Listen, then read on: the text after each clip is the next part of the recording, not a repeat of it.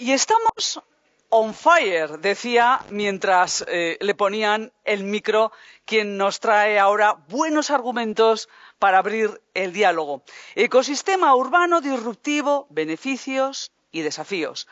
Va a presentar y dinamizar Juan Graña, CEO y fundador de Neurológica, una empresa que investiga el comportamiento y las emociones del ser humano aplicadas a diferentes ámbitos de la sociedad y de la empresa.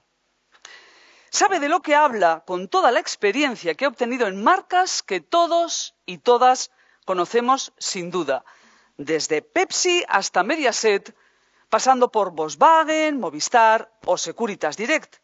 Ha sido además presidente y director de varias compañías. Su labor docente también está registrada como profesor y formador de diferentes cursos de posgrado en distintas universidades. Esta mañana, Juan, tiene que ser, después de todo esto, además, dialogador casi, nos inventamos la palabra. Bueno, y está acompañado por Javier Reyes, coordinador del Máster Ejecutivo en IAS Generativas, Desarrollo de Productos y APPs en la Escuela La Tecnocreativa, y por Verónica Ramírez del Valle, directora de operaciones del Andalucía Smart City Cluster. Así que los tres Bienvenidos. Muchas gracias. Adelante. Adelante. Necesito poner una presentación. Un cable, a ver. Sí. Yo, si os parece, me voy a quedar en el medio de los dos. Y, ahora Javier va a conectar una presentación. Pero bueno, eh, nos sentamos, Verónica. Nada, Egunon, muchas gracias.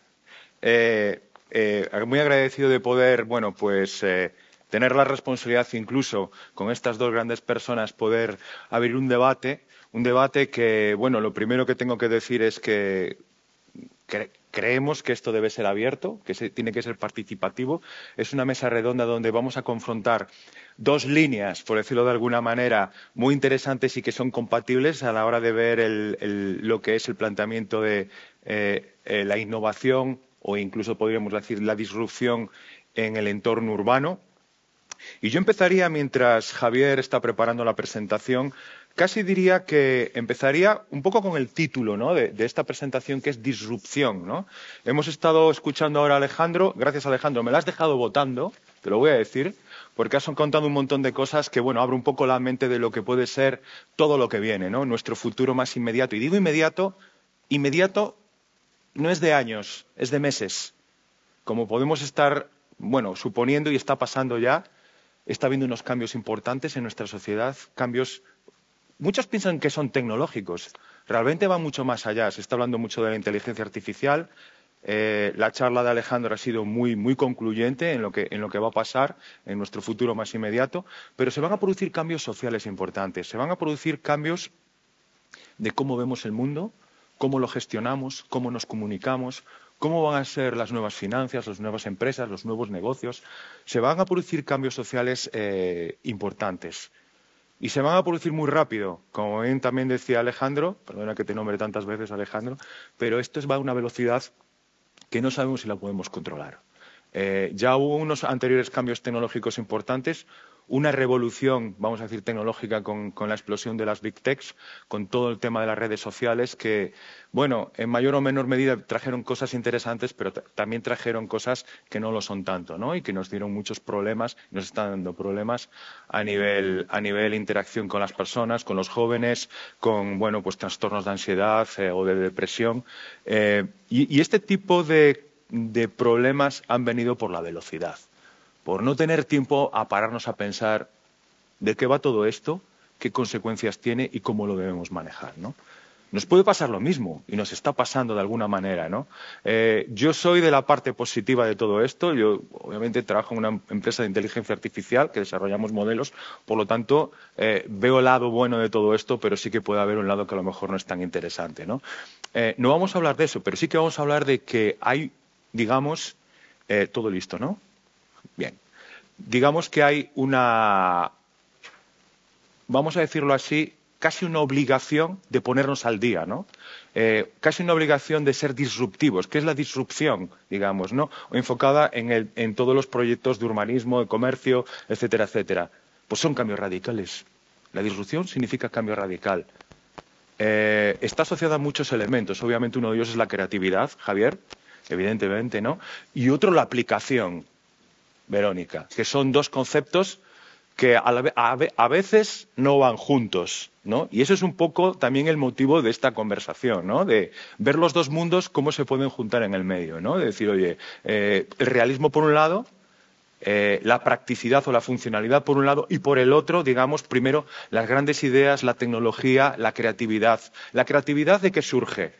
Bueno, ¿qué es la creatividad? Bueno, podemos hablar aquí un debate de la creatividad, pero yo diría una cosa de la creatividad una cosa que yo siempre he tenido muy presente, la creatividad se produce cuando hay necesidad, si no, no se hace. ¿Hay necesidad hoy en día? ¿Se está produciendo disrupción? ¿Se debe producir disrupción? ¿Podemos quedarnos como estamos? Esas son las grandes preguntas. Eh, ¿Podemos contraponer a lo mejor estas nuevas tecnologías, estos cambios tecnológicos, estos modelos de inteligencia artificial que tienen infinitas aplicaciones nuevas, con buscar a lo mejor planteamientos más conservadores, más tradicionales, más convencionales y que puedan convivir? Buscar ese contrapunto o realmente tenemos que adaptarnos. Esto es un poco, a lo mejor, algunas cuestiones que a mí me gustaría tratar con vosotros dos. Vamos a verlo. Y, bueno, es un lujazo teneros aquí y poder que podáis compartir las experiencias con, todos nosotros. Y bueno, yo daría paso primero, si quieres, eh, Javier. Nos vas a hablar unos minutos de, tu parte, tu parte más creativa. Luego, si quieres, te hago yo unas preguntas sobre esto. Y a continuación, Verónica, que también nos hará unos, comentarios. Para luego poder abrir un debate entre todos, si os parece. Bueno. Eh, ah, de acuerdo. Gracias. Mi presentación tiene como título Vitoria, motor de encuentro. La, idea de ese concepto viene por contraposición al motor de búsqueda, que es un poco el paradigma de la revolución tecnológica anterior, de, Internet, en donde, bueno, Internet hasta cierto punto ha abolido en un cierto sentido la distancia entre personas, entre mm, productos, eh, servicios, sistemas, pero al final un motor de búsqueda implica que tú sabes lo que estás buscando, mientras que la idea de encuentro pues tiene otras connotaciones que son muy mm, interesantes y muy bonitas como diferenciales. La primera es que hay cosas que simplemente las encuentras y que ni siquiera sabes o sabías que las estabas buscando. Siempre se dice que el, amor no se busca, que se, encuentra, por ejemplo. Pero también mm, simbólicamente para referirme a lo que es ese encuentro con estas eh, entidades maravillosas que son las inteligencias artificiales. Y las inteligencias artificiales, eh, quizá la metáfora así más feliz que se me ocurre para describirlas con arreglo a como yo las veo, es que son una nueva especie que hemos inventado los seres humanos, no es una especie biológica, pero que lo hemos inventado a nuestra imagen y semejanza. ¿no? Como decía Alejandro antes, eh, ya no es. Eh, antes para comunicarte con un ordenador tenías que aprender cosas, tenías que aprender aplicaciones, saber usar el Excel o, o si querías exprimir al máximo las potencialidades de un ordenador tenías que aprender a programar. Pero eso ya no es así. Ahora básicamente lo que haces es hablar. Entonces yo lo que os traigo es una, una maqueta, en realidad, de una idea sobre una una idea sobre una guía para una ciudad, para Vitoria, con IA mayúscula, eh, en donde Vitoria lo que hace, lo que hacemos con Vitoria es conversar. ¿no? Eh, voy a decir. Háblame sobre la plaza del machete.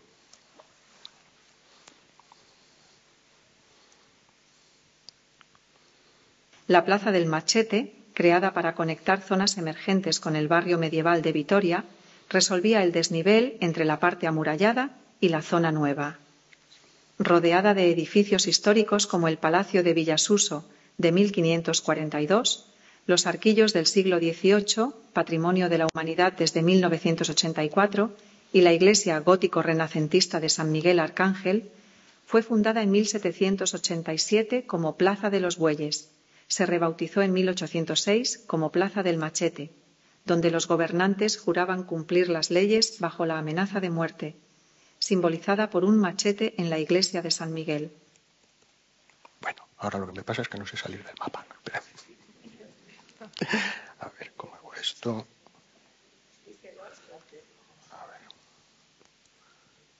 Esto y voy a volver. No, esperad. Que quería cerrar. Pues tampoco. Bueno, creo que voy a volver a abrir esto. Esto es el efecto demo que se llama habitualmente. A ver.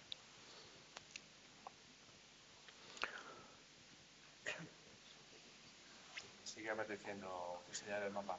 Sí, evidentemente. A ver.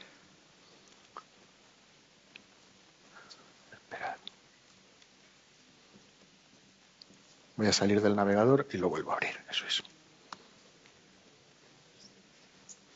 Y ahora la voy a dejar sin poner la pantalla completa. Eh, la voz de Vitoria es eh, la voz de una diseñadora de moda vasca, que es Isabel Basaldúa Goiri, que bueno, que se prestó muy amablemente a entrenar esta voz que, que estáis oyendo. ¿no? La idea, bueno, esto que he hecho era bastante sencillo, aunque se ha vuelto un poco complicado, pero eh, en realidad la intención de, de, de, tener una IA para algo así es para poder hacer otras cosas que no se puedan hacer habitualmente. ¿no? Elabórame una ruta con cuatro zapaterías eh, cerca de aquí.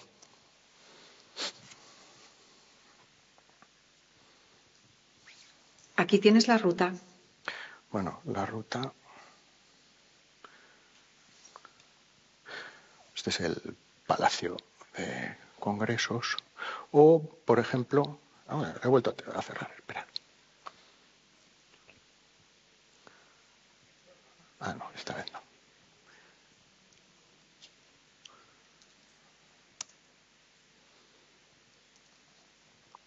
Espera. Se ha cerrado mi... Esta, madre mía. Esto es un poquito más lento.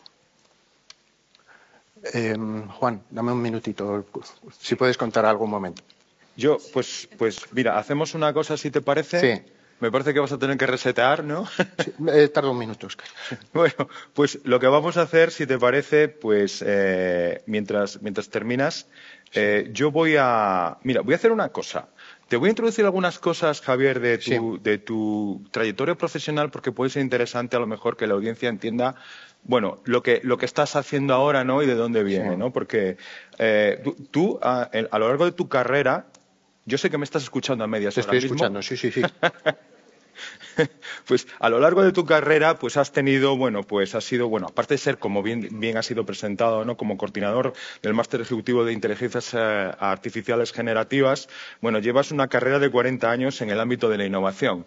Eres una persona creativa. Yo lo que, lo que ya conozco de ti es que estoy viendo que eres una persona, bueno, yo no sé si es una mezcla de filósofo creativo, Atrevida, seguro. atrevida y de todo tipo, ¿no? Eh, entonces, me parece muy interesante porque es un perfil, eh, digamos, que yo lo enfocaría en el punto inicial donde tiene que surgir todo, ¿no? Es decir, las primeras ideas, la idea creativa, la disrupción, que es el tema que vamos a tratar hoy, y a partir de ahí, bueno, pues eh, todo, lo que, todo lo que puede ser ya un proceso hasta llegar al punto final, del que nos hablará eh, Verónica, y bueno, y yo me quedo con una cosa muy interesante que tengo aquí de tu currículum, ¿no?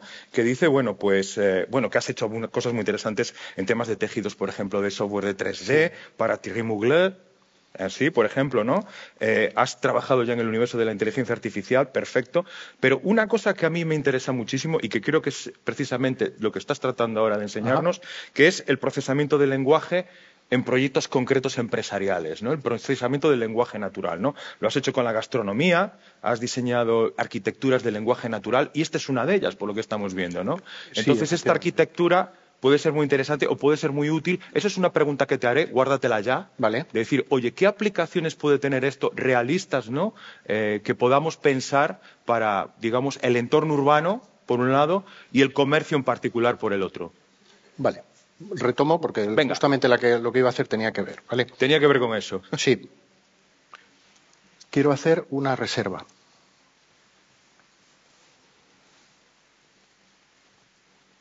¿Y dónde deseas hacer la reserva? quiero reservar una visita guiada.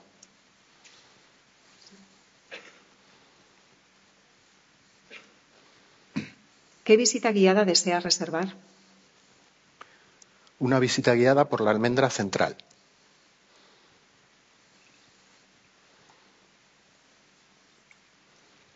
¿Para cuántas personas? Para dos personas.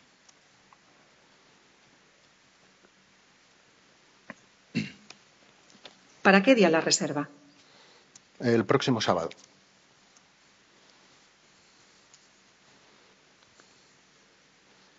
Intento reservar el próximo sábado a las 11.30. Te aviso cuando se confirme. El aviso es esta notificación, que lo que hace es eh, habría una interoperabilidad entre sistemas en la cual se ha producido una gestión con el ayuntamiento, en este caso, con, y, una vez confirmada la reserva, pues te, pide que la agendes, ¿no? En este caso. Esto se puede extender a reservas en restaurantes o en, en, donde se quiera. Em, a ver, por ejemplo. Quiero hacer otra reserva.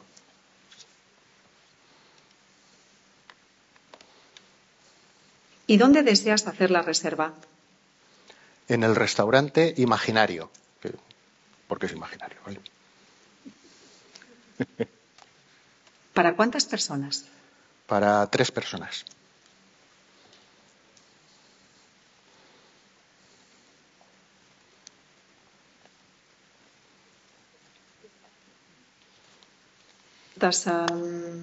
A ver. Lo siento.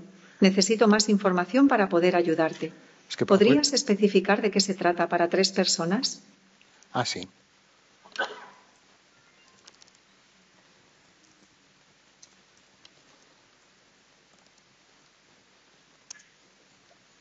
Estaba mal escrito a yo personas. ¿Para qué día la reserva? El próximo lunes.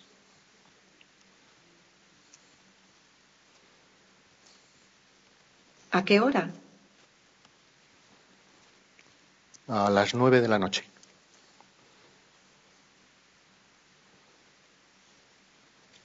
Intento tramitar la reserva y te aviso ahora. Y bueno, se supone que ha reservado y que me lo vuelve a comentar, ¿vale?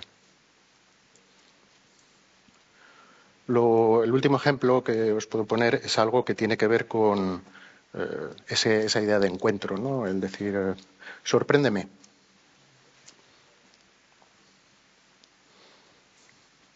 Te propongo dos cosas para hacer entre hoy y mañana. Una happy hour en Soho Vitoria, cocktail bar y un taller de cocina colombiana mañana por la tarde. A ver qué te parecen. A ver, el taller de cocina colombiana. Esa es una iniciativa vuestra, ¿no? del taller Sancocho. Y bueno, voy a aprovechar una cosa que, eh, había comentado antes Alejandro, y es que son multilingües, ¿no? Entonces yo le puedo decir, eh, qui était le président de la France en 1982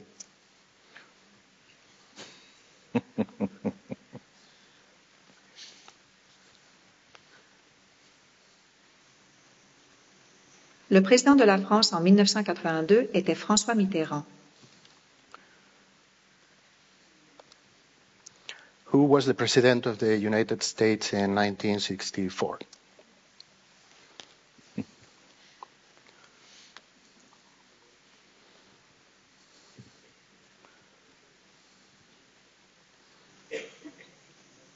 The President of the United States in 1964 was Lyndon B. Johnson. Esta ya es de, de, de premio. Eh, wer war im Jahr eh, 2000 Bundespräsident.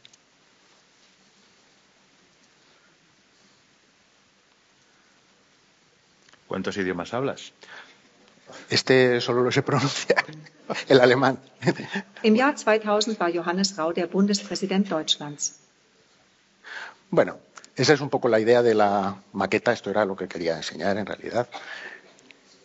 Y bueno, pues como veis, la idea es que eh, cosas que tradicionalmente requerirían o de una gestión personal o de la utilización de herramientas de software, en realidad se pueden resolver hablando a partir de, ahora, ¿no?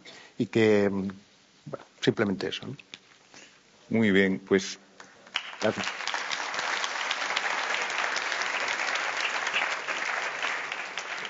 Gracias, Javier. Eh, y, yo de esto me viene a la cabeza decir, eh, es muy interesante, ¿no? El tratamiento del lenguaje natural, cómo ya las tecnologías nos empiezan a entender. Realmente no entienden, realmente lo que hacen es asocian, digamos, eh, ideas, tokens, pero, pero es el primer paso, ¿no? Y es, importante. lo decía el CEO de, de OpenAI, que decía sobre ChatGPT cuando lo lanzó, decía una cosa muy interesante que era, esto solamente es una vista previa a lo que va a ser el futuro. Claro, nos asombramos mucho de ChatGPT y de otras tecnologías similares. Eh, creemos ya que son, bueno, casi como personas que nos entienden, pero nada que ver con lo que va a pasar. ¿no? Estos son ejemplos muy claros, lo que nos acabas de enseñar, Javier, sobre este tema. Verónica. bueno, Verónica es una persona que, como bien ha sido introducida, es la directora de operaciones de Smart Cities eh, Cluster eh, en la zona de Andalucía eres doctora en, ciencia, eres doctora en ciencias y además, bueno, tus raíces profesionales vienen del CSIC. Sí. Muy interesante. ¿no? Vienen del CSIC eh, y estás trabajando de una manera estratégica en el, tejido empresarial actualmente de Andalucía. Eh, Aquí hay una cosa que es muy curiosa y que me gustaría preguntarte en cuanto acabe tu introducción, que sería, bueno, eres una líder que capitanea actualmente proyectos comerciales de bastante envergadura, vamos a decir así, eh, y ocupas un rol muy importante en el Win Country Chair para España sobre la iniciativa internacional de la Mission Million G100. Ya nos vas a explicar ahora qué es esto, ¿no? Porque habla de enfocada en el Smart and Sustainable Cities. ¿Qué es esto? ¿Me puedo levantar? Por supuesto, adelante. Porque me siento más, más cómoda. Bueno, lo primero, aunque todo lo digamos, ¿no? Yo quería agradecer muchísimo estar hoy aquí porque para mí, bueno,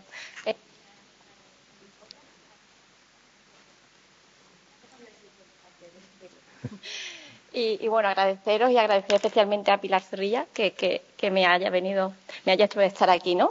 Quiero también decir que, no soy tecnóloga, con lo cual estoy en un mundo que después de la cena de anoche estoy desorientada en qué, voy a contar hoy, ¿no? porque me vine un poco diciendo, madre mía, estoy perdida en este mundo, porque yo que pensaba que estaba al día, estoy totalmente obsoleta. Eh, también quería puntualizar que Smart City Cluster es una entidad nacional.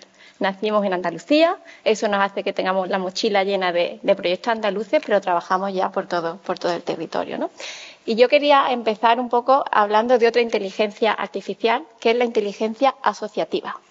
Eh, que para mí, viniendo de una entidad asociativa, es clave en lo que se refiere a la ciudad. ¿no? Quería deciros algunos datos para un poco situaros en, qué, estamos viviendo. ¿no? Pues en España, lamentablemente, solo un 10% del tejido empresarial español está en entidades o estructuras asociativas. ¿no? Eso nos pone en una situación de desventaja ¿no? y se nos llena la boca hablando de colaboración, cooperación cuando realmente es complicadísimo, ¿vale? Eh, yo la pregunta cuando viene una empresa al clúster, me voy a mover porque me siento más cómoda, es, ¿y aquí hay algo de mi competencia? Y tú le dices, yo siempre digo, bueno, si en 8.800 territorios que hay en España te da susto tu competencia, eh, a lo mejor es que no eres tan bueno. Eh, ese dato para mí es triste. Es triste porque estamos hablando de proyectos de ciudad, en el caso de mi clúster, ¿no? Y una ciudad no se soluciona con una inteligencia artificial, no se soluciona con un sensor, no se soluciona con un patinete eléctrico. Una ciudad se soluciona con una estrategia futuro. Las ciudades no se transforman. A mí no me gusta la palabra transformación. Las ciudades, me encanta lo que ha dicho la cabeza, se revitalizan.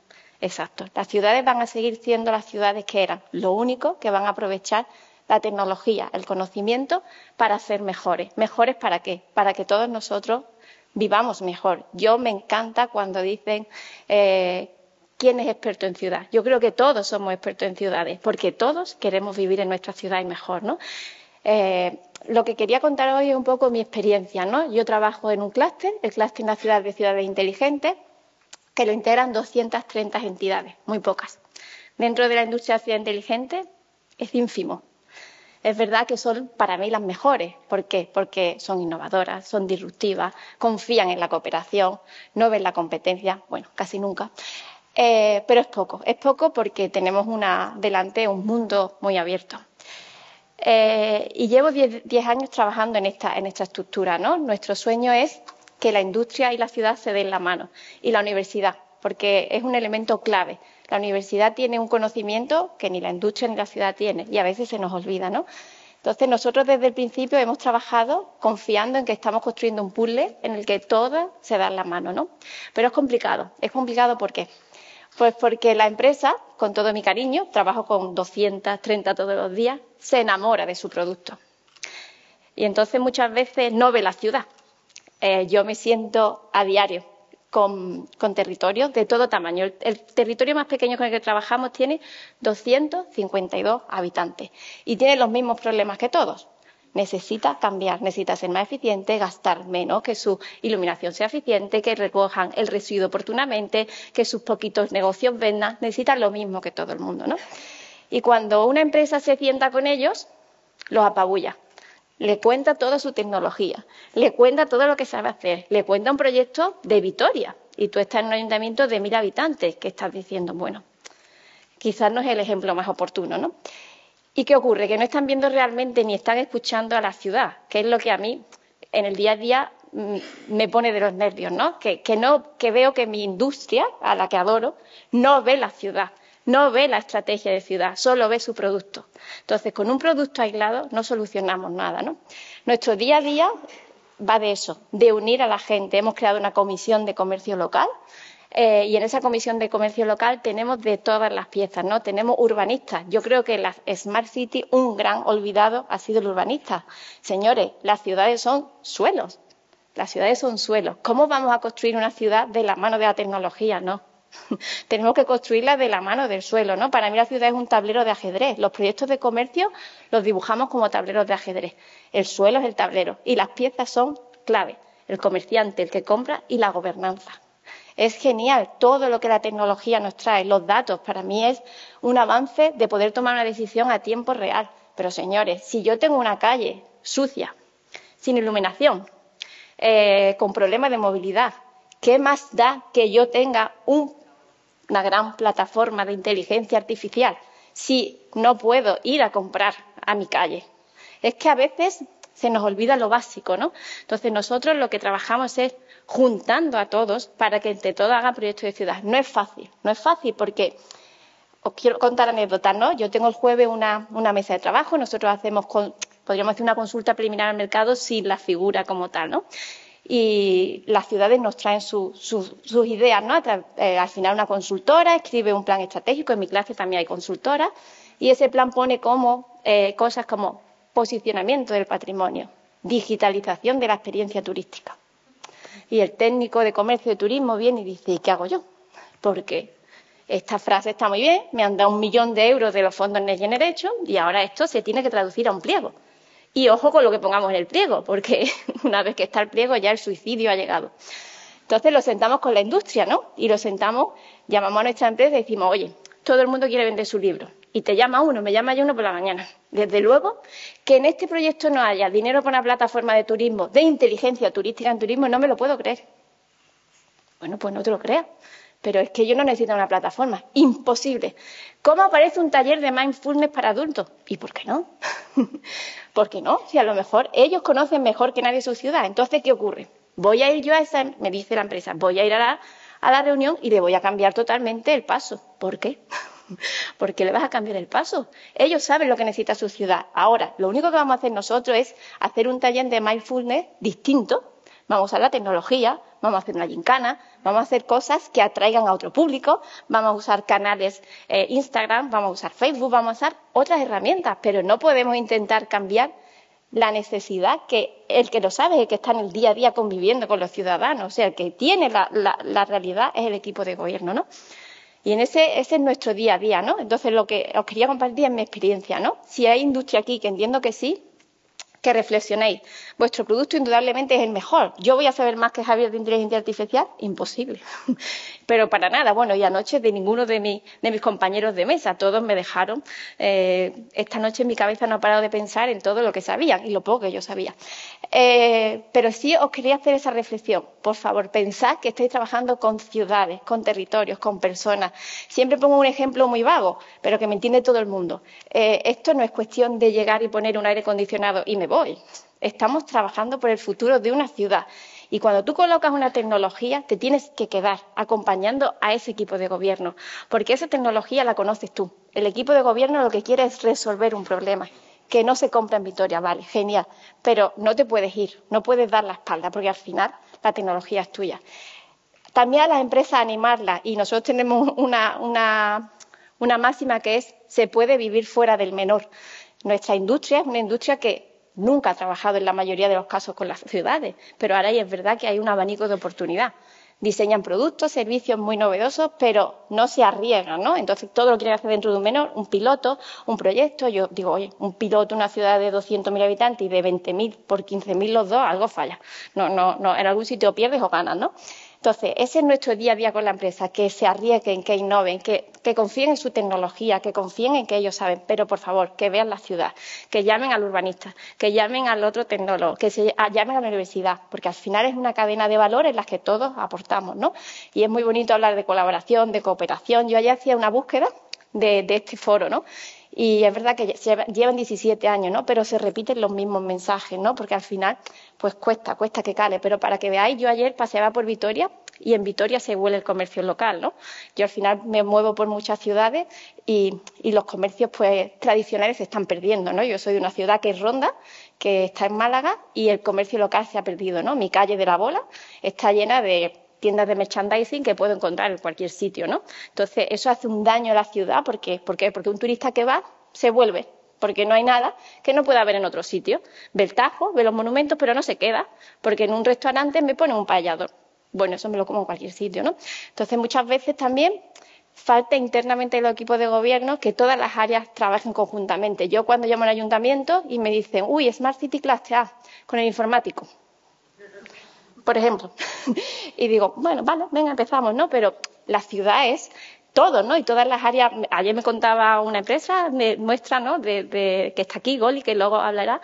Pues ellos tienen datos muy interesantes que ha contratado un área de un ayuntamiento y no lo comparte con otras áreas y la otra área está gastando dinero en esos mismos datos, ¿no? Entonces dice, no, no, no, no me cuadra, ¿no?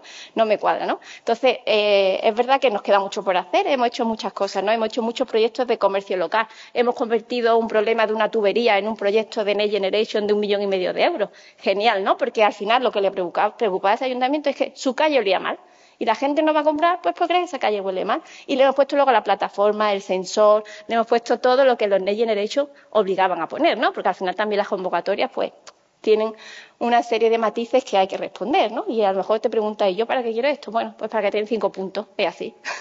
es así. pero, pero bueno, de, de, eso se trata, de sumar, ¿no?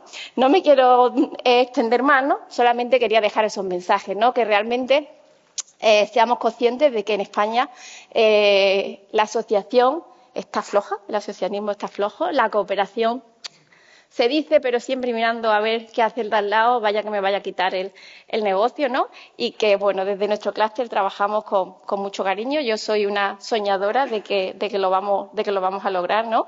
Y digo una anécdota. El primer día que senté a Telefónica y a Vodafone en la misma mesa, dije, oye, algo ha cambiado, ¿no? Porque me llamaba uno y decía, ¿viene Telefónica? Pues no voy. ¿Viene Vodafone? Pues no voy. Ahora ya van juntos, ¿no? Entonces, algo está cambiando en, este mundo. ¿Me sientes si quieres? Sí, sí, sí. Bueno, y que se hagan miembros de los clústeres.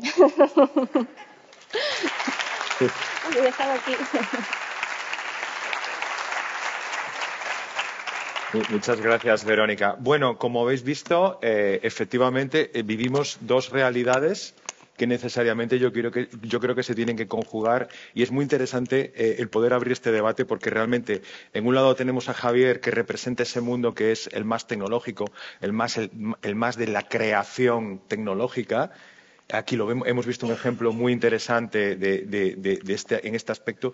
Y por el otro, Verónica, que representa ese mundo en el cómo pueden ser las aplicaciones reales y cómo conjugar las necesidades, digamos, urbanas o de las administraciones o del comercio, vamos a decirlo así, o de las pequeñas empresas, cómo conjugar esas necesidades eh, que en muchos casos no tienen conocimiento como tal, digamos, de, estas tecnologías o de estos avances, o aunque tengan conocimiento, no saben o no entienden cómo se pueden aplicar si es que se pueden aplicar en todos los casos, y de alguna manera pues conjugar ese mundo que es el de poner, poner estas tecnologías al uso, al uso real, a la funcionalidad estas tecnologías que primero han sido creadas con, bueno, pues con unas ideas fantásticas y fenomenales.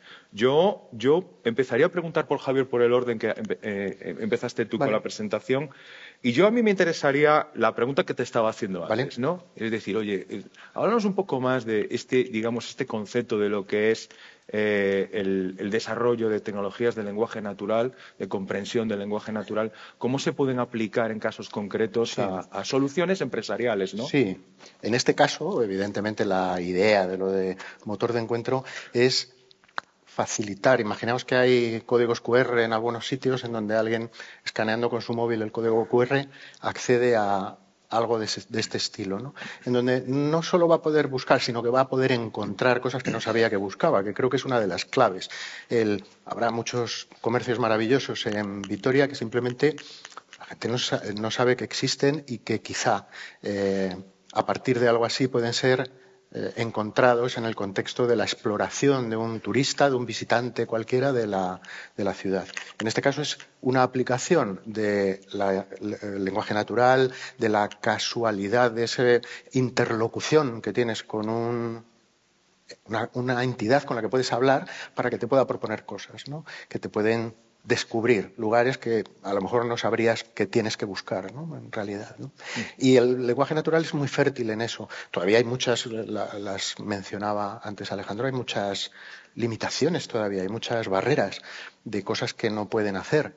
Eh, pero es una revolución imparable, no se puede mirar hacia otro lado. Y, el tema del lenguaje natural, un poco para, para la audiencia, un poco para explicar, ¿no? El lenguaje natural cuando hablamos de lenguaje natural hablamos del lenguaje de las personas, de cómo hablan las personas. Muchas veces nos comunicamos no como las máquinas, ¿no? sino que tenemos esos matices, esa subjetividad y a lo mejor muchas veces el sentido no está en lo que decimos, sino a veces cómo lo decimos, etcétera, etcétera. ¿no? Pues eso es el lenguaje natural que de alguna manera es, un gran reto ¿no? para las tecnologías que empiecen a entender de alguna manera pues a las personas, no como lo dicen, incluso, no, no lo que dicen, incluso también relativamente cómo lo dicen. ¿no? Hay, un elemento, y perdóname que te interrumpo solo un momentito, eh, al hilo de lo, que, de lo que dice Juan, que es que en la historia de la relación de las personas con los ordenadores siempre se ha manejado un concepto que es el nivel del lenguaje. Y se hablaba de lenguaje de bajo nivel al principio, porque para conseguir comunicarte con un ordenador en los años 50, 60, tenías tú que hablar como la máquina. Y era, se llamaba lenguaje máquina. Y ese concepto de lenguajes progresivamente de más alto nivel, en los cuales tu expresividad se va enriqueciendo, hemos llegado al punto de inflexión total, porque nos podemos comunicar en nuestro propio lenguaje. Esa idea de lenguaje de alto nivel ha alcanzado su cenit o lo está alcanzando. Y justo hablando de lenguaje, el lenguaje es comunicación, comunicación a veces por lo que puede faltar, ¿no, Verónica?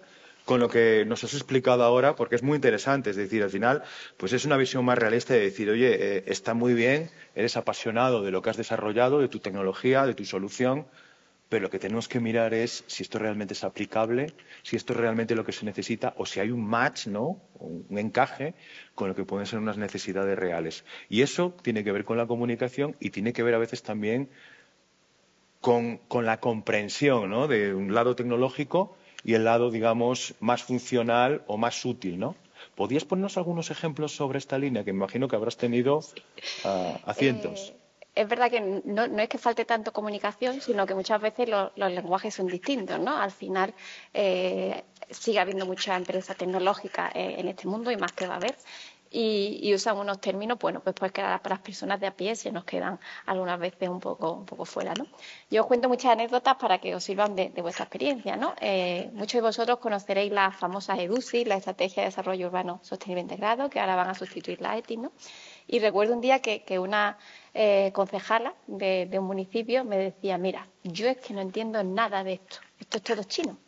Ha venido una empresa, me ha dicho una, una plataforma, no sé qué, de AENOR, de una norma UNE, de... ella estaba perdida y dice, yo voy a devolver dinero. Entonces le digo, se llamaba Pilar también. Digo, Pilar, no desesperes que te lo voy a explicar, ¿no? Entonces yo le explicaba a ella. Y lo explico a muchísima gente.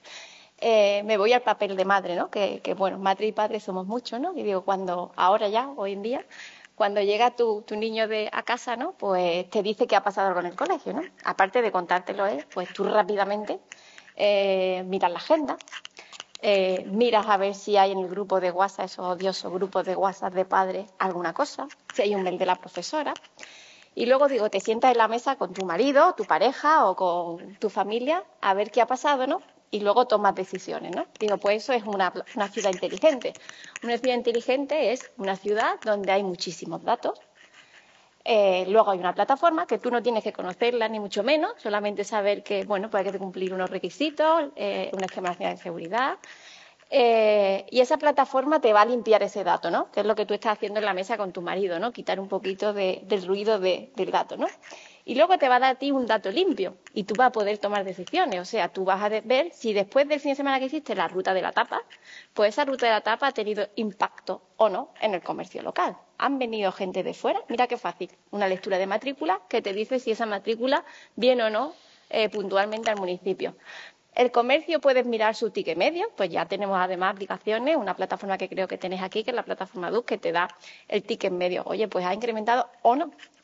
Eh, podemos hacer un montón de, métricas. Y le dije, eso es la ciudad inteligente. A ti no te tiene que preocupar nada de la parte tecnológica. Solo dime qué datos quieres tú tener. Porque datos es apabullante, ¿no? Yo digo, cuando el dato se convirtió en una obligación, pasó a ser una oportunidad y ahora es una adicción. Yo estaba también escuchando, te digo, esto tiene que ser adictivo, porque te pone a preguntarle y no pararía no, perdonar que el pendiente. porque yo creo que me pondría ahí como una maquinita a preguntar hasta que le encontrara a ver si se cierra en algún momento, ¿no? Entonces, ahí eh, te puedo contar muchos ejemplos, ¿no? Por ejemplo, eh, es eso, que habla un lenguaje distinto, aquí hay un gap en medio y ahí es donde nosotros como clúster nos colocamos, ¿no? Un poco a, alinear toda esa información, ¿no? Y de que alguna manera todo, todo se entienda, ¿no? Pero al final yo creo que una ciudad inteligente es esa, ¿no? En la que eh, utiliza el dato para tomar eh, pues de alguna manera acciones más inmediatas que antes, ¿no? Antes se hacía con percepciones, datos históricos y ahora incluso la tecnología también, la tecnología también ya mide las sensaciones, ¿no? Cómo nos sentimos cuando pasamos por una calle, cuando entramos a una tienda, ¿no? Y eso te permite adaptarte al cliente, ¿no? Pero yo decía al equipo de gobierno y, y lo decía, ¿no? A vosotros que no os preocupe el cómo, ¿no? Es verdad que te encuentras concejales pues que tienen perfiles de ingenieros, de informáticos, que al final saben muchísimo, ¿no? Pero otros no tienen por qué, por qué saber tanto, ¿no? Correcto. Javier, Dime. Eh, tú como, vamos a llamarte tecnólogo, tecnólogo creativo, creativo en tecnología. Me gusta la idea. Sí, pues, eh, bueno, yo creo que es una eres una mezcla de muchas cosas, ¿no? Yo creo que un poco filósofo también, ¿no? No sé, me ha dado la impresión, ¿no? Eh, y que llevas 40 años en el mundo de la innovación, 40. Eh, según tu currículum, ¿eh? no sé si son menos o son más, es un tema de edad, 40, que es impresionante esa, esa carrera eh, que tienes.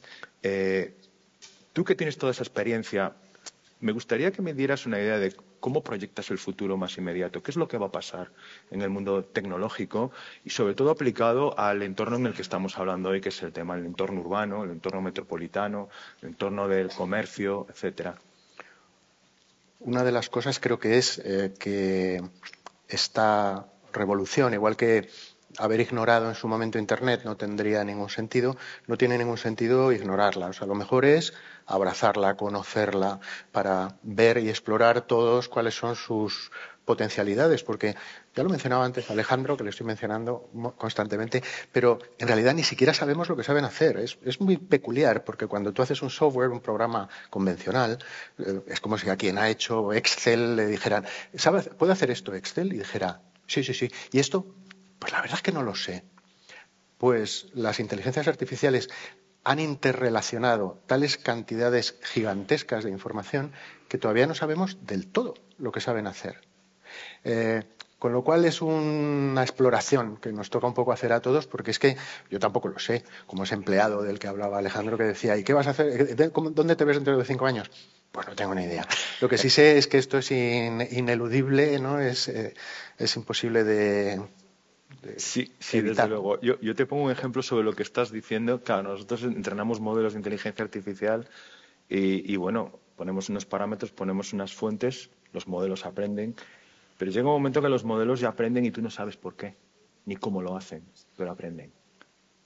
Entonces, ese es el primer paso a muchas cosas que vienen, ¿no? Y es importante, desde luego, lo que hablabais, el, el tema ético y las regulaciones aquí también son muy importantes en todo esto.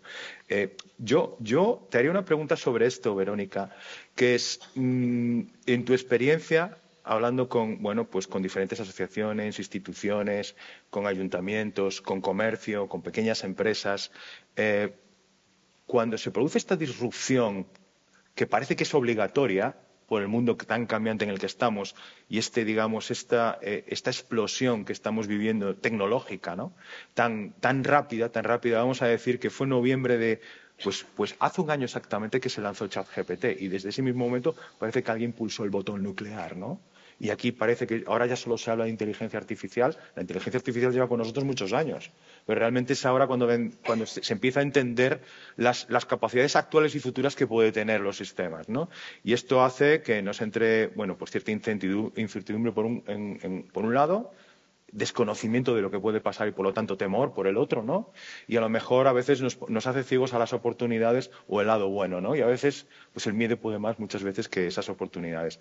Pero mi pregunta iba, eh, ¿tú crees que en estos entornos que estamos hablando, la inteligencia artificial o las nuevas tecnologías, las disrupciones, son obligatorias porque el mundo tecnológico está cambiando? ¿O realmente no debería ser así? ¿No debería ser, digamos, el detonante para, digamos, que es que hay una obligación de cambiar y ser disruptivos y generar nuevas ideas, nuevos conceptos, porque me empuja un poco este mundo tecnológico, o, debería ser algo natural y que se debería producir sin tener esa causa-efecto. Lo digo en este caso a título personal. Para mí debería ser algo natural. Eh, evidentemente, tienes que alinearte con, la tecnología, ¿no? O te quedas atrás, ¿no? Y no puedes responder a lo que está pasando, ¿no? Pero tiene que ser de forma natural y no obligada para que realmente sea útil, ¿no? nosotros hablábamos ya eh, hace un par de años una mesa redonda de las chatarras de la Smart City, ¿no? ¿Qué ocurre? Que cuando has comprado por impulso, porque el municipio de al lado ha comprado sensores, que el sensor ha sido una gran compra, o los beacons, ¿no? Y tú dices, pues yo también. y ahora ocurre que lo has comprado por impulso, a lo mejor tú no necesitabas ese, ese tipo de tecnología, tu presupuesto además no va a tener el año que viene para mantener eh, ni actualizar el software de esa tecnología y ahora ¿qué haces? Pues apagas el, cacharrito, con todo mi cariño al cacharrito, y lo guardas, ¿no? ¿Eso por qué? Porque no ha sido de una forma natural, lo ha hecho de una forma obligada, ¿no? Eh, lo que enseñaba Javier, si lo adaptas de forma natural, pues será idóneo, ¿no? Pero a lo mejor no tiene que llegar ahora, sino antes hay que limpiar otras áreas del comercio que son más urgentes y luego aplicar eh, este tipo de, tecnología, ¿no? Donde al final, pues realmente hay que ver si el comercio está preparado o no para, para usar esa, esa tecnología, ¿no? A mí todavía me, no sé, me apena que sigamos diciendo se va a digitalizar al pequeño comercio. Yo creo que mi primera experiencia laboral, después de salir del CSIC, eh, de, aquella época soy química y doctora en materiales, eh, pues tenía un programa yo en Andalucía que era Novapime, que era para digitalizar el pequeño comercio. O sea, y eso hace ya 20 años. Y, y entonces sigo escuchando lo mismo y sigo todavía viendo tickets a mano Ayer, ayer no sé quién hablaba de ti que te bueno, eh, es increíble. O te sientas con un comercio y dices, me da algún dato y te dice, sí, ha ido bien la semana, pero tienes un ticket medio. No, mm, no, es que yo, yo tengo un primo mío que tiene una tienda y me hace todavía los presupuestos una libreta de cuadritos con sus bolis de colores y todo, o sea, que, era precioso, pero yo digo. Entonces, llegamos a la inteligencia artificial, a lo mejor en, en áreas donde el comercio pues tiene ya una trayectoria, pues puede entrar de, forma obligada, pero las demás lo tiene que hacer de, forma natural o nos perdemos. Nos perdemos porque le vamos a perder en el cómo. No es como mm, eh, cuando pasó la, con la pandemia, todo el mundo, pues el comercio era un problema. El problema del comercio venía de antes, no, no, no lo destapó ni mucho menos la pandemia. Yo tuve en aquel momento 800 reuniones de la mejor plataforma de comercio, Marketplace. Desarrollamos hasta un producto con correos y bueno, el, despliegue de las marketplace ha sido triste, ¿no? Es otra chatarra de, la ciudad inteligente, ¿no? Eh, pero bueno, eso es lo que se hace cuando no se hace de forma natural y se corre, ¿no? Hay tecnologías que no, yo no quiero, yo lo digo así, yo no quiero que el comercio local de, yo vivo en un pueblecito, compita con Amazon. Lo que quiero es que cuando yo salga a tomar una cerveza, me voy a comprar el traje en Zara online porque es que no me da tiempo. Pero a lo mejor me compro los pendientes en la tienda de mi barrio, ¿no? Y eso es lo que tenemos que de alguna manera eh, promover, ¿no? Y también ayudarle a que vendan 24 por 7, ¿no? Un, un proyecto que estamos haciendo con una sociedad en Diputación de Cáceres eh, se ha convertido en un proyecto en mi canal, ¿no? En el que al final eh, tú puedes comprar, hacer una cita a través de WhatsApp, de Instagram, o sea, no te, no te alfabetizas en otras aplicaciones, sino que en aquellas que tú eres alfabeto te permite interactuar, ¿no? Y ha demostrado que cuando más eh, se consulta, ah, es como una especie de marketplace, no le quiero llamar marketplace, es de las una a las cinco de la tarde, o sea que es cuando el comercio está cerrado. Oye, pues bravo, bravo, porque en este caso estoy vendiendo en cuatro horas donde yo antes estaba cerrado, ¿no? Pero no quiere decir que yo le esté vendiendo a Amazon, que le esté haciendo la competencia a Amazon, no, le estoy vendiendo a mi vecino, que de una a cinco, pues no puede, pues es el momento que tiene para comprar, ¿no? Entonces yo creo que de forma natural y no obligada. Sí, en el marco de lo que estás diciendo, me gustaría hablar sobre todo de estos proyectos, ¿no? Que pueden ser la colaboración público-privada en todo esto, sobre todo los fondos Next Generation y de cómo, bueno, nos me gustaría mucho que nos compartieras un poco las experiencias y algunos consejos sobre esta línea en el marco de lo que es el comercio, bueno, o en general, en, el marco urbano, ¿no? ¿Qué, ¿Qué, nos podrías decir? Bueno, ha habido, como sabéis, ha habido tres convocatorias, cada una con nueve líneas, pues para lanzar proyectos de comercio local que podían ser en centros comerciales abiertos, en mercados, en zonas, en zonas rurales, ¿no? Eh, y fueron proyectos de 2021 que ya han pedido sus prórrogas porque en la mayoría de los casos pues no han dado lamentablemente el pistoletazo de salida, ¿no? ¿Por qué ocurre eso? ¿no? Esa es la lectura que yo hago. Al final eh, salen convocatorias donde tienes 20 días hábiles para presentarlas, eh, corres, otra vez vamos a la carrera, y, luego, bueno, pues hay que llevarlo al terreno, ¿no? Sí que hay, nosotros hemos hecho proyectos muy bonitos y tenemos asociados que, que han hecho proyectos o sea, soluciones muy pensadas para el mercado y hemos hecho proyectos desde ese triple eje, ¿no? Desde la parte, vamos a solucionar primero el problema de la calle, Luego vamos a solucionar el problema de la colaboración público-privada. Vamos a poner herramientas para que, de alguna manera, el comercio y el equipo de gobierno se escuchen y los datos sean comunes, ¿no? Y al final haya una infraestructura, pues, para que eh, se puedan dinamizar acciones conjuntas, ¿no? Y eso, y eso lo ha hecho la tecnología, ¿no? Eh, proyectos de comercio, pues, hay muchos. la propia alcaldesa decía, ¿no? Que ellos han conseguido más de un millón de euros. Eh, pero al final también sigue, habiendo mucha obra, ¿no? Algo que hemos sabido y que sabemos hacer muy bien en España es la obra. Entonces, eh, la EDUSI, ¿qué es lo que ha salido? La obra. los proyectos de comercio, ¿qué es lo que ha salido primero? La obra, ¿no? Eso también a mí me hace pensar que sigue habiendo una falta de colaboración público-privada, porque cuando entramos ya en soluciones tecnológicas, de sostenibilidad, de economía circular, pues ya ahí no se sabe tanto. De la obra estamos más, casi todo el mundo, ¿no? Es decir, que casi todo el mundo o es constructor o es entrenador, todos sabemos, ¿no? Pues, eh, pero cuando tienes que ir al ámbito de la tecnología, ya el pliego se, se, se, pero están haciendo proyectos, yo creo que están haciendo buenos proyectos, ¿no? Y que creo que las ciudades se han dado cuenta de que el comercio es un motor de desarrollo económico, ¿no? Eh, a veces también lo que hemos visto en estos proyectos es que hay mucho eh, malentendido entre las asociaciones de comerciantes, que muchas veces no representan a todo el comercio, sino que representan a un comercio más tradicional, más obsoleto, y los equipos de gobierno. ¿no? Hay ciertas tensiones y entonces hay un vacío que no permite que hablen en el mismo, en el mismo lenguaje. ¿no? El grado de ejecución de los fondos Next Generation es bajo. Es bajo. Nosotros estamos, analizamos semanalmente el grado de ejecución de dos líneas, la de comercio y la de turismo sostenible es bajo, se han pedido todas las prórrogas y bueno, espero que lleguemos a, tiempo a hacer proyectos. Pero creo que ahí se solventa todo con el clúster, tengo que hacer un poquito de publicidad, porque al final sí que convertimos esos textos un poco más planos eh, en soluciones reales, ¿no? Y al final eso, eso es lo que, lo que pretendemos agilizar, ¿no? El clúster u otras estructuras asociativas que tengáis en vuestro entorno, ¿no? Que al final pues permitan lo que está en un papel convertirlo en, una licitación, ¿no? Y al final el día a día de los ayuntamientos, pues pasar, yo tengo ayuntamientos que han pasado de tener cero euros en ayuda a tener tres millones de euros y ahora eso hay que gestionarlo, ¿no? Y sacar un proceso, un expediente de contratación lleva su tiempo y no puedes contratar a nadie, o sea que realmente no es que no se ejecuten porque no se quiera, sino porque hay muchos muchas dificultades internamente, donde tú, mancomunidades que no tenían presupuesto prácticamente, tienen ahora planes de sostenibilidad turística en destinos de 3 millones de euros, ¿no? Pues donde yo gestionaba cero y ahora gestiono tres y sigo teniendo una persona, complejo es. Eh, en el marco de, lo que estás diciendo, eh, claro, entonces hay una cierta dificultad, digamos, en la ejecución de estos fondos por, diferentes razones, por la que estás diciendo. Es decir, pues de repente encontrarte con una cantidad de, fondos determinada que hasta ahora pues, no, la tenías y esto hace, puede provocar que tengas problemas con, la gestión de estos fondos funcionales, por decirlo de alguna manera, ¿no? Eh, pero, ¿y la parte tecnológica?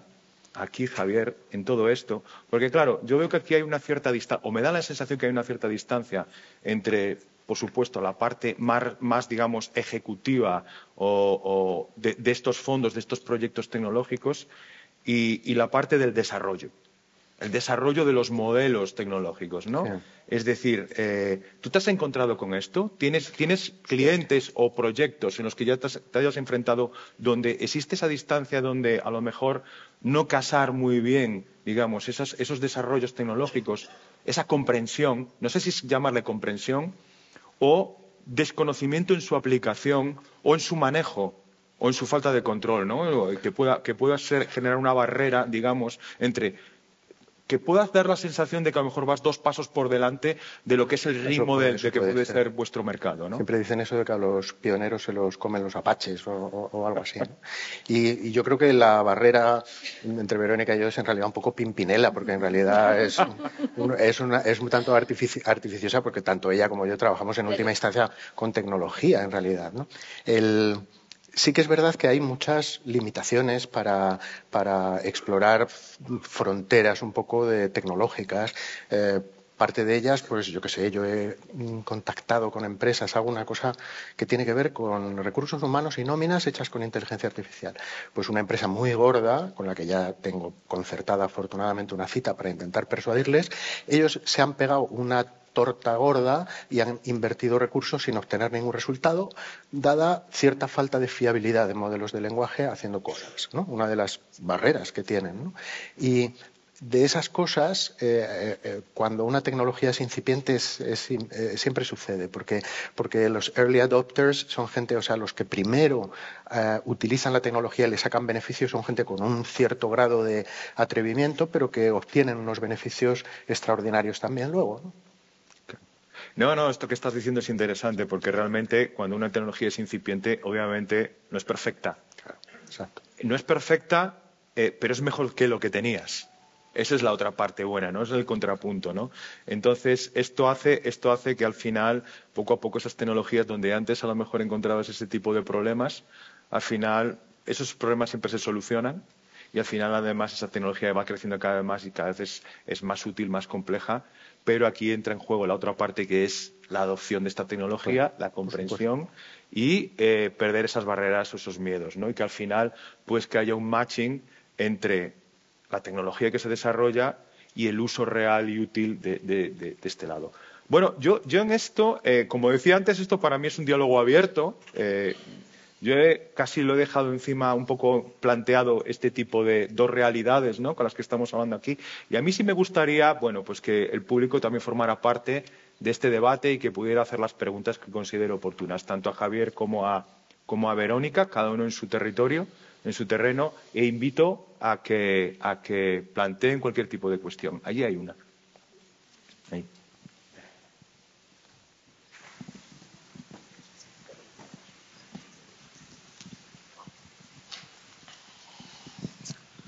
Hola, buenos días. Eh, yo me gustaría eh, conocer las reflexiones de los, de los ponentes sobre una, una cuestión que a mí me preocupa. Yo, yo vengo de Canarias, trabajo, somos una administración autonómica y, y nosotros siempre tenemos un problema que es que la palabra disrupción y la palabra eh, comercio local de proximidad conjugan de forma, de forma complicada, ¿no?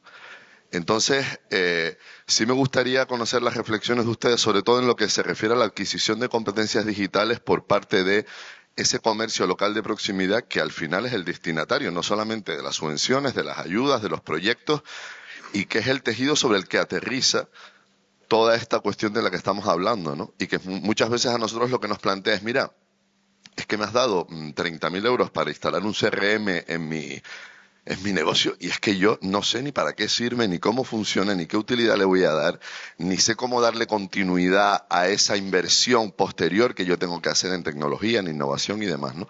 Entonces sí me gustaría eh, esa reflexión de cómo aterrizar en el tejido del comercio local de proximidad eh, todos estos procesos innovadores, porque al final la digitalización es, es, un proceso más dentro de la innovación, ¿no?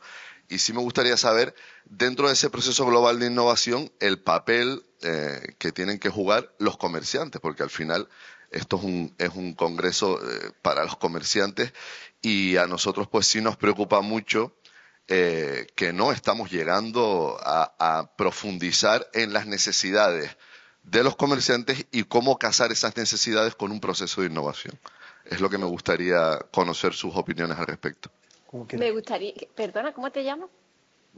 Yo soy David Milles, soy director general de Comercio y Consumo del Gobierno de Canarias. Sí. David, una pregunta que me gustaría hacerte para poder, cuando le pones ese, ese CRM a ese comercio local, ¿tú le has preguntado qué necesitaba antes ese comercio local o es una solución que habéis adoptado para todo el comercio local porque consideráis que es lo oportuno? Claro, es que nosotros ahí, y, y estoy viendo además a varios compañeros de administraciones aquí, ya estoy viendo a, eh, nosotros es que también ahí estamos constreñidos a lo que nos piden desde Europa.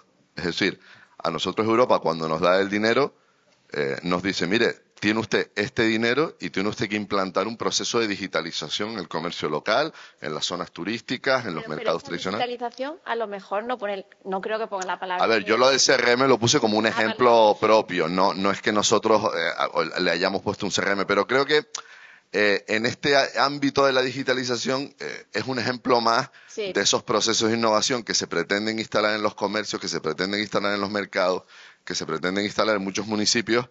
Eh, hablo del CRM como puedo hablar de cualquier software o de cualquier herramienta de digitalización, ¿no? Pero, pero es un ejemplo para, digamos, ilustrar la preocupación de que hay, creo que, distintos escalones entre las necesidades y los conocimientos de los comerciantes y entre las obligaciones de las administraciones de justificar unas cantidades ingentes de dinero que, tienen que gastar en digitalización del comercio y que muchas veces es muy complicado que los comerciantes entiendan o acepten que nosotros vamos a transformar su modelo de negocio implantando una serie de procesos que no comprenden. Entonces, ese es, digamos, el objeto que a mí me gustaría que fuese, eh, que hubiese un debate y que hubiese una reflexión. Aquí que hay, pues, muchos, eh, no solo asoci asociaciones de comerciantes, hay administraciones locales, hay administraciones autonómicas, y creo que en el fondo esta, digamos, inquietud, esta incertidumbre está flotando en el ambiente. Yo, por lo menos, siempre que voy a un congreso de este tipo, eh, siempre esa es la, la, cuestión que todo el mundo se, se plantea. Queda ¿no? clara la pregunta, queda clara la pregunta, efectivamente. Es verdad que, que, es una, que es una cuestión compleja y, y, yo lo decía incluso antes, ¿no? que muchas veces los proyectos los tienes que adornar para que, bueno, pues para que Europa o el gobierno que corresponda lo, lo incentive, ¿no? Pero yo creo que disrupción y comercio local, en el momento, para mí, en el momento que una persona eh, te, tú le puedes hacer un pedido por WhatsApp y jamás lo había hecho, eh, para mí eso es digitalización. Y algunas veces es verdad que miramos a soluciones a lo mejor mucho más eh, grandes o, menos eh, cercanas para hablar de digitalización. Yo creo que al final también eh, hay mucha oferta de la industria en este caso, ¿no? Y hay muchas propuestas y yo creo que es bueno hacer un buen análisis de todo lo que hay en el mercado, ¿no? Porque al final, pues a lo mejor el CRM cojo el CRM, que sé que no es un ejemplo real, ¿no? El CRM no, pero a lo mejor sí podemos hacer un desarrollo omnicanal donde tú puedas vender por Instagram o por Facebook o por... Y, y, creo que eso es digitalización y es disrupción y es innovación, ¿no? En el momento en que tú aplicas una herramienta que no aplicabas antes a tu modelo de negocio, tú estás innovando, ¿no? A lo mejor para un comercio de aquí no es innovación, para un comercio de, otro, de otra área sí es innovación, ¿no? Entonces yo creo que, que el, ahí sí que creo que la clave es tenderle la mano a la industria y que la industria cuente todo, todo lo que está haciendo, ¿no? Y que algunas veces es verdad que, bueno, pues que las asociaciones de comerciantes tienen unas prioridades, los equipos de gobierno tienen otros, las convocatorias, en este caso de Next Generation, pues tienen otras líneas, pero también hay que saber interpretar las convocatorias, ¿no? Al final, como yo decía, eh, una tubería de una calle es un proyecto de comercio local, ¿no? Y jamás ese concejal pensó que ese proyecto iba a ser un proyecto de comercio, ¿no? Porque al final tú también tienes que contarle a Europa que el problema de tu comercio no es tener un CRM, sino que es otro y que ese es tu problema para digitalizar a ese comercio, ¿no? Competencias digitales, pues siguen faltando, ¿no? Y sigue faltando formación, pero sí que somos competentes todos en redes sociales, ¿no? Pues a lo mejor tenemos que usar más las redes sociales para, para vender y ya ahí tenemos la formación. En vez de inventarnos 400 apps que cada vez que te mueves por un territorio te tienes que descargar, pues a lo mejor si lo puedo hacer todo a través de mi WhatsApp, que es mi que es mi herramienta que todo el mundo eh, usa, cualquier abuelo, o por ejemplo, yo me acuerdo eh, igual te lo llevo, ¿no? A herramientas que se desarrollaron para las personas mayores, ¿no? Para, eh, bueno, pues para el envejecimiento activo, ¿no? Pues al final lo que más funcionó fue hacerlo a través de la televisión. ¿Por qué? Porque esas personas están pegadas a la televisión. No le obligues ahora a descargarse una aplicación en su móvil y que hagan algo que no están acostumbrados, ¿no? Entonces yo creo que muchas veces también tenemos que ser imaginativos e innovadores en cómo contamos las cosas eh, a Europa, ¿no? Y que digitalizar es cualquier cambio que tú hagas a través de, una herramienta, en este caso, pues una propia red, social, ¿no? Un TikTok que yo soy, me, comentaba ayer, eh, bueno, pues mi compañero de mesa que, yo no uso TikTok, pero me ha animado a hacerlo, ¿no? Oye, pues a lo mejor es un mecanismo para acercar la industria y la tecnología al pequeño comercio y a, las ciudades, ¿no? Creo que, que los gestores de comercio sabéis muchísimo de cuál es el problema y lleváis muchos años luchando con, con una realidad, ¿no? Algo no estamos haciendo bien todos los que estamos involucrados porque seguimos repitiendo las mismas necesidades continuamente, ¿no? Pero sí que es verdad que te animaría a pegar a mucha industria, porque a veces también nos pegamos a uno que ha venido, que es un soñador, que su plataforma es la mejor, que su tecnología es la mejor, pero bueno escuchar a varios porque nadie tiene la solución clave, ¿no? Y al final, de sumar muchas piezas, a lo mejor podemos encontrar algo que, que responda. En el caso de la inteligencia artificial, yo creo que lo inicial es una casi alfabetización básica. La, inteligencia artificial es una de las tecnologías más asequibles que hay, no de las menos, porque es, como hablaba antes, de las que más se parece a nuestra manera de pensar y a nuestra manera de comunicarnos. El acercarse a ella yo creo que es importante para empezar, porque eso te da una idea de sus potencialidades, que luego te va a ayudar a eh, desarrollar un criterio a la hora de saber qué cosas va a ser capaz de hacer y cuáles no. ¿Y en qué cosas te puede ayudar desde el primer momento, en temas de comunicaciones, eh, etcétera? Eh, en cuanto a si tienen que ser apps o no, bueno, esto que yo planteaba no es una app, es una web. O sea, tú escaneas un código y apareces en un sitio y no te has descargado nada, ¿vale? Pero esa proliferación, la inteligencia artificial se parece más a la electricidad que a Internet. Hablo en términos de jerarquía de importancia. O sea, es algo que va a estar presente en todos los ámbitos y conocerlo es el primer paso, ¿no? Acercarse a ello, porque es asequible, en realidad. ¿Otra pregunta? Eh, creo que primero levantaron aquí. Sí. Ah, perdón. Sí. Hola, buenos días. Soy Ana de Quirós. Vengo junto con mis compañeros de Asociación de Empresas y Comercios de Mataró, una ciudad mm, de, la provincia de Barcelona. Quería felicitar a la organización, primero de todo, y al Ayuntamiento de Vitoria por apoyar de esta manera y ayudar a mejorar a los comercios. Sois un ejemplo para todos. Gracias. Mi pregunta sería para, Javier. Em, nos has explicado desde la parte del cliente eh, cómo, con esa inteligencia artificial ¿no? el, cliente puede, puede encontrarnos. Pero desde nuestro lado, desde el lado de los negocios, eh, me gustaría saber, mm, todos tenemos el chat GPT bajado y trasteamos, o la mayoría, ¿no? Pero ¿cómo utilizamos eh, este chat GPT? ¿Cómo utilizamos la inteligencia artificial desde el lado del comercio, desde el lado de los negocios, para acercarnos a ese cliente y para mejorar esa experiencia que el cliente puede tener con, nosotros. Gracias. Gracias a ti. Yo creo que es un tema de comunicación, probablemente, porque la fortaleza fundamental de un chat GPT, que pones tú como ejemplo, es su capacidad de redacción, su capacidad de síntesis, su capacidad, con lo cual una de las eh, ayudas inmediatas que se me ocurre es la de ayudar en eh, comunicación en general, ¿no? en la redacción de, desde no sé, notas de prensa o comunicaciones comerciales de, todo tipo. Y luego es un ecosistema que está creciendo a una velocidad vertiginosa, que se está rodeando de toda una serie de herramientas y de utilidades. Eh, entonces, vale, sin que yo sepa anticipar qué va a pasar a esta velocidad vertiginosa a la que están pasando las cosas, puedes tener por seguro que, van a aparecer muchas cosas eh, para la ayuda de procesos cotidianos. Alejandro, a quien menciono constantemente hoy, hablaba del tiempo que la ahorra haciendo eh, con correo electrónico, gracias a la inteligencia artificial.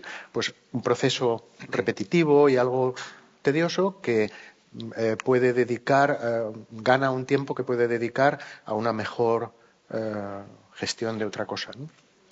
Es lo, que se me ocurre así a buena pluma. Si nos da tiempo una pregunta más, o mejor. Sí. Aquí.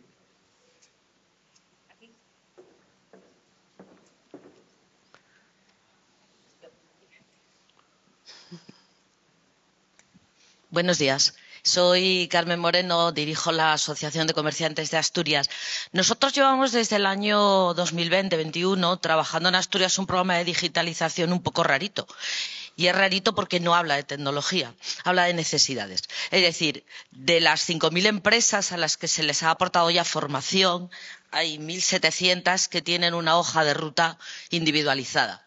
Y para nosotros es tan digitalización un WhatsApp como la inteligencia artificial. En el paso que vamos a dar ahora, y ahí va la pregunta, vamos a trabajar el dato. Nos preocupa profundamente que todos los días cuando el comercio cierra la tienda, tira cientos de miles de datos a la basura. La mejor base de datos es los servicios de limpieza en las ciudades, con todos los papelitos que se tiran. ¿no? O sea, yo, yo vería esa línea de negocio en la línea de limpieza. ¿eh? Entonces, eh, queremos trabajar el dato con el comerciante a partir de, ahora, de ya, de, de en cuanto a la administración haga la contratación pública que no será nunca ya.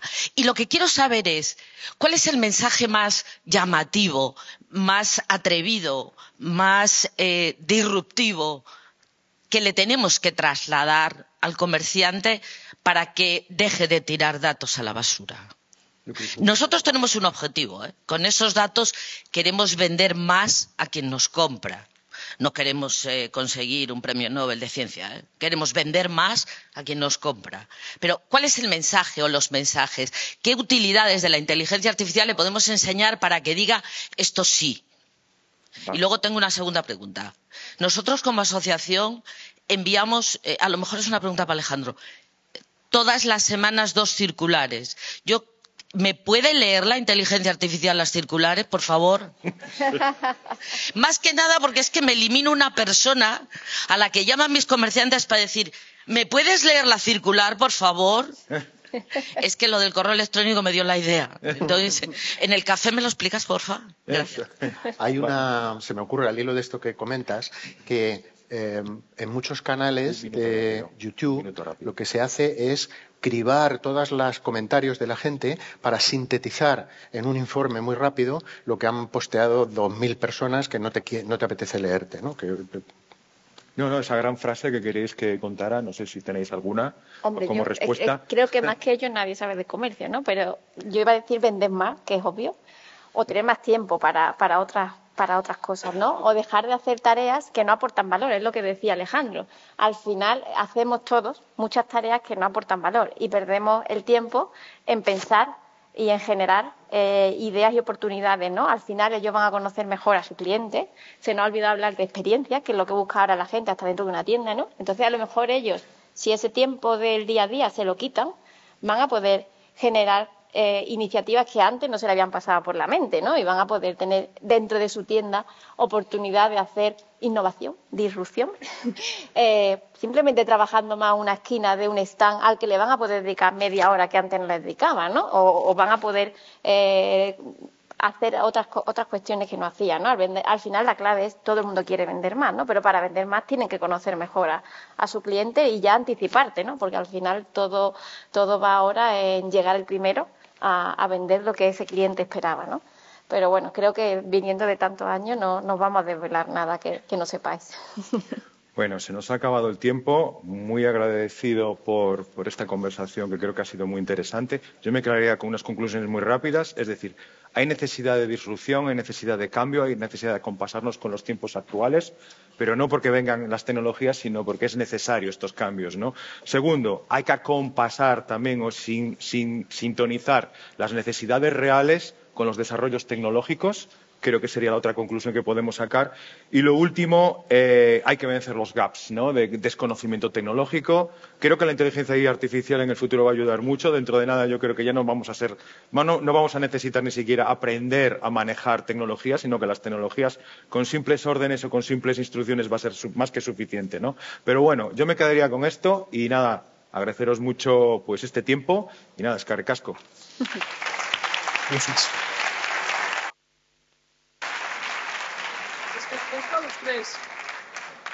A Juan, a Javier y a Verónica. Bueno, que nos hemos ganado, vosotros quizá más, nos hemos ganado todos el café. Sí, ¿no? Llega, llega la hora de la pausa. Vamos a cerrar la tienda media horita. Podéis tomar un café y disfrutar del. Gracias, Verónica. Del amarretaco. Hasta dentro de nada, es que ricasco.